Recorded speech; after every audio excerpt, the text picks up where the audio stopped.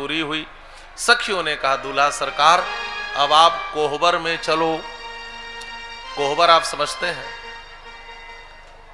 विवाह के बाद दूल्हा दुल्हन को एक कक्ष में ले जाया जाता है, जहाँ पर लौकिक रीति से कुछ विधि की जाती है और दुल्हन की जो सखियाँ होती हैं वो कुछ विनोद आदि भी दूल्हे से करती हैं। कोहबर का अर्थ क्या है? श्री मामा जी के शब्दों में, को है बर इन दुहन में, सीता या की राम, या को निर्णय हो जहाँ, सो घर कोहबर नाम। बर माने होता है श्रेष्ठ।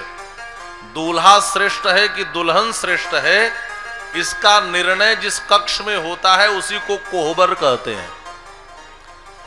तो उस कोहबर में लेकर के सखियाँ जाने लगी और चारों दूल्हा सरकार धीरे धीरे चलने लगे।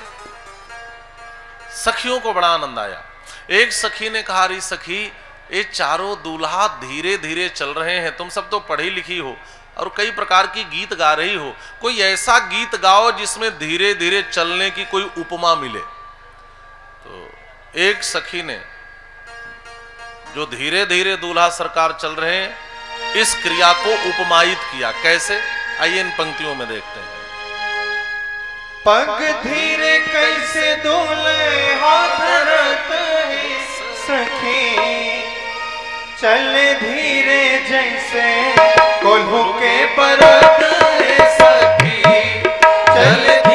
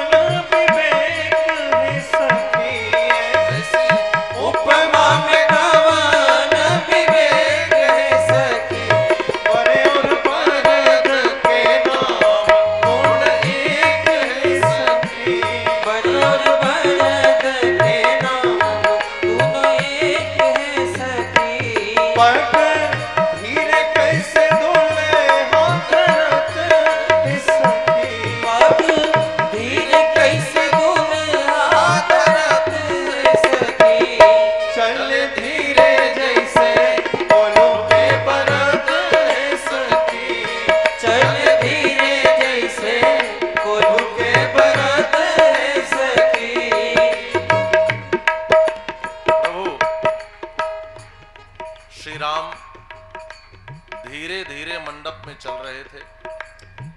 एक सखी ने उपमा देते हुए कहा, सखी, दूल्हा सरकार ऐसे चल रहे हैं जैसे कोल्हू का बरद चलता हो।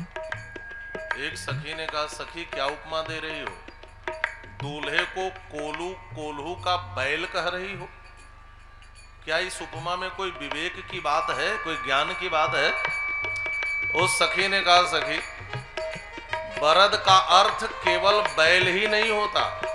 बरद का अर्थ बरम ददाती बरदह वरदान देने वाले को भी बरद कहते हैं। और यह तो ईश्वर हैं वरदान देने वाले, इसलिए मैं वरद कह रही हूँ। उस सखी ने कहा, सखी, तुमने कोल्हू का बरद कहा। तो कोल्हू का बरद तो वरदान नहीं देता। तब उस सखी ने कहा, सखी, सच कहूँ तो ये दूल्हा भी कोल्हू का ही बरद है। कैसे? का कोल्हू का बरद क्या करता है? का कोल्हू का बरद सरसों की घानी को कोल्हू में पेरता है, यही तो करता है।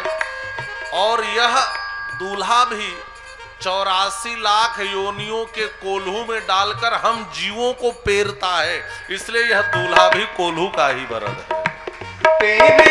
कोल्हू के बरात सरसों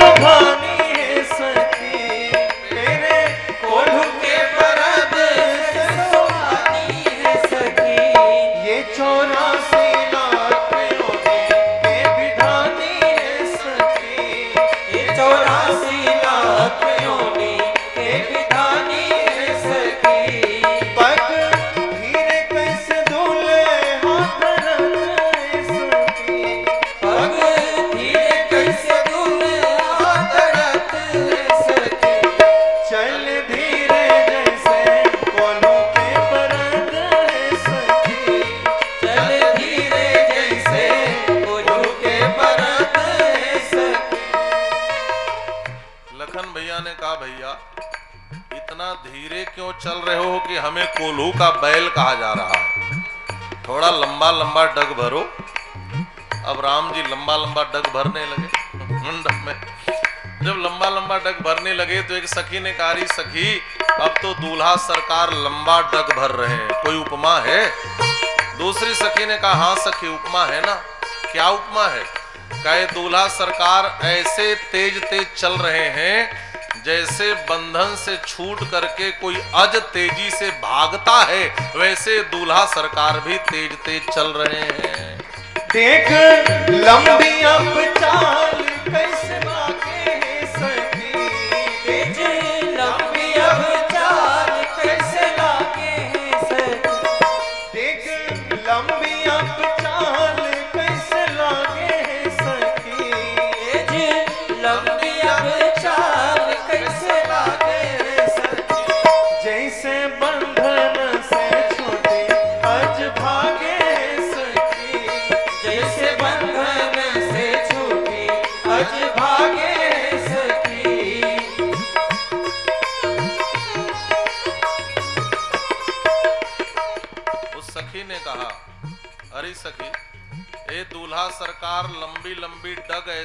रहे हैं, जैसे बंधन से कोई अज छूट कर भागे।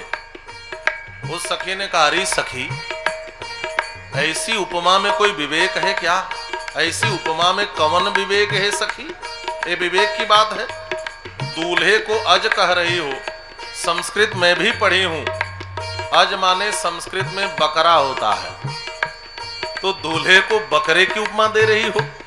उसने कहा, नहीं सकी मैंने जो अज कहा है, इसका मतलब बकरा नहीं है। इसका मतलब अज माने होता है अजन्मा।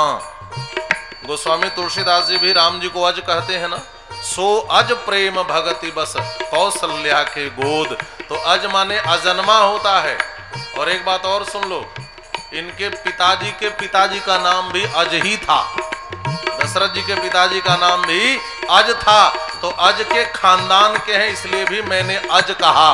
इस अज का मतलब बकरा नहीं होता उस सखी ने समझा। अज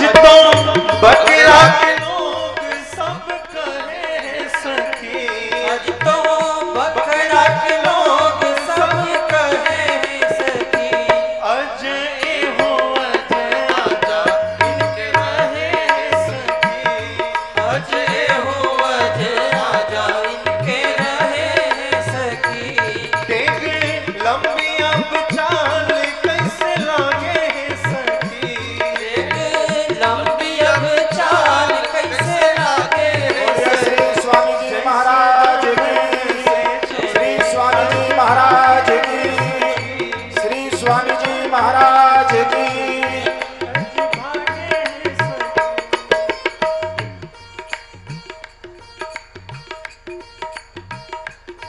बोलिए श्री स्वामी जी महाराज की। जय। आप लोग जहाँ हैं वहीं से प्रणाम करके अपने स्थान पर बैठ जाएँ। अपने स्थान पर बैठ जाएँ। निवेदन ये कर रहा था कि राम जी ने धीरे से कहा, भैया, यहाँ धीरे चलो तो कोल्हू का बैल और तेज चलो तो बकरा। गुंजाइश किसी में नहीं है। अब क्या करें? लखन भैया ने कहा, भैया आप खड़े हो जाओ। और चारों दूल्हा मंडप में खड़े हो गए। एक सखी ने कहा, सखी, अब तो चारों दूल्हा मंडप में खड़े हो गए, कोई उपमा है?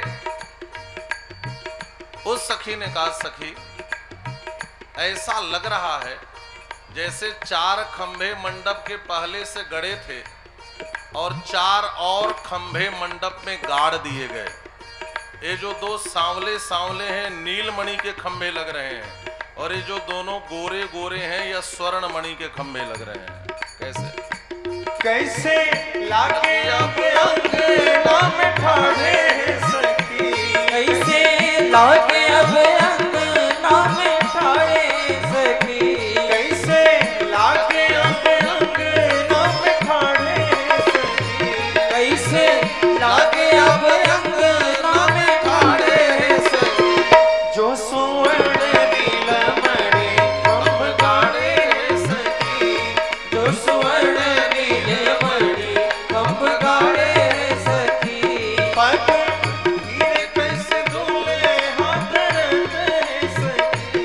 Lord.